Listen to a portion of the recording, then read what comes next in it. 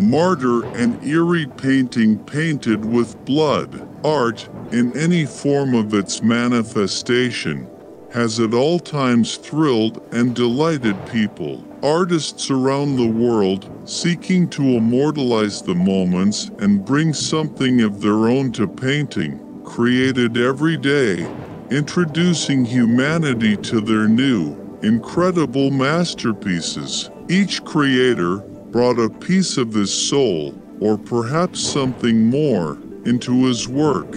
Martyr is one of the creepiest paintings that could ever exist in our world. The story of its creation is shrouded in horror. Unfortunately, not much is known about this painting.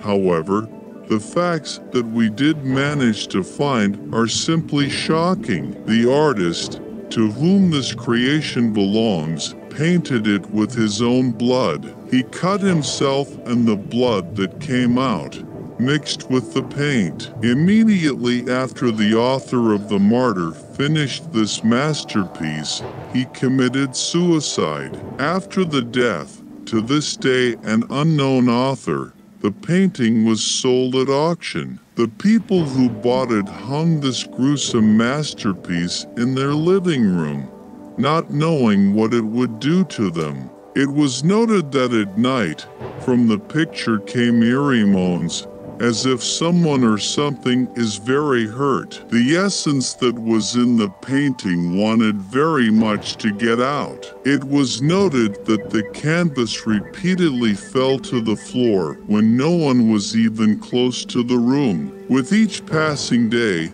the new owners of the painting more and more clearly understood that Martyr carries a terrible energy and does not give peace to people who live with him under the same roof. It was decided to hang the painting with rags and put it in the attic where it has remained for more than 25 years. A quarter of a century later, this masterpiece was found by Sean Robinson, grandson of those people who had once bought the painting. After hanging Martyr in his home, Sean and his family also began to note that in the house began to happen devilry.